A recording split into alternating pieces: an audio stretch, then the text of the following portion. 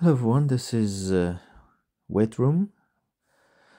We've done vinyl flooring in here, as you can see it's wrapped up 100 mils up the wall. All the corners are heat welded, so make sure there's no water going behind the vinyl. It's looking uh, really good. This is another bathroom. This is the beginning of the project, so everything needs to be removed and stripped out and uh, new plumbing carpentry plywood. Everything has to be done from the beginning and on the left hand side as you can see in the video everything needs to be stripped out and then there will be a tray being installed there as you can see in the picture right far end of the room and then the plywood will be ramped towards it and we do the um, uh, leveling compound or Ardex feather finish plywood joints or any adhesive that needs to be covered. So uh, this is the cabinet cove former that helps the vinyl to be wrapped up and then tucked in.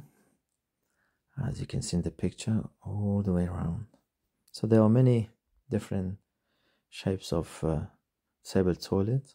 If the plywood is rough, we always do it with smooth it out with Ardex feather finish. This is another one which the vinyl, the old vinyl has been removed and all the coat from everything will be removed and we'll do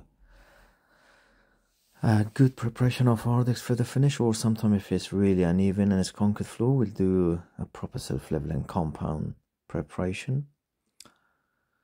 All the corners will be heat welded. So as you can see in the picture here this is the finishing of the vinyl flooring. The last tile will be laid after the vinyl is done and then uh, be overlapped one inch as you can see there so it's water resistant. Sometimes you put the capping on the vinyl will be tucked under. This is another bathroom. So we remove the old vinyl and here we go. We've done the smoothing with Ardex feather finish.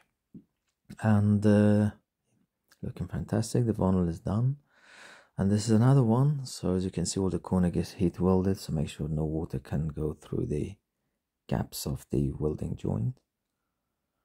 And uh, it's looking amazing